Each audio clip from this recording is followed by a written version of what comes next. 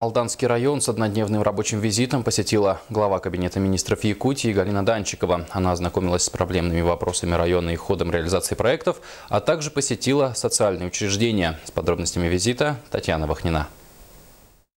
Обсуждение насущных вопросов, посещение социальных объектов, контроль за реализацией ряда проектов Алданский район с однодневным рабочим визитом посетила председатель правительства Республики Саха-Якутия Галина Данчикова.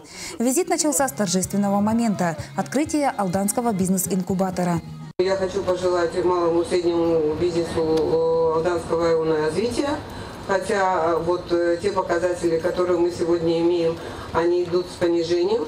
Хотелось бы, что все-таки э, вот созданием такой инфраструктуры а мы э, в следующем году увидели активность, деловую активность населения Алданского района. В рамках визита члены правительства посетили детский сад «Дельфин» микрорайона Солнечный. Данное дошкольное заведение является одним из наиболее проблемных в Алданском районе. Здание давно обветшало. Ежегодно на утепление из местного бюджета отчисляются немалые средства. Аналогичные сложности присутствуют и в школе Солнечного. Однако в настоящее время вопрос решается. Строительство нового здания идет полным ходом. Делегаты также посетили и Алданскую районную больницу. Диагностика на уровне, отметили гости, побывав в кабинетах УЗИ и компьютерной томографии. В Центре подготовки лыжников представители республиканской власти провели торжественное награждение победителей спортивных соревнований, прошедших накануне.